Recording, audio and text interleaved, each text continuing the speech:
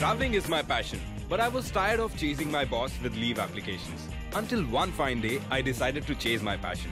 I set up my own travel agency and I make my own time. Thanks to my sleek and zippy 1000cc Alto K10. Let's go!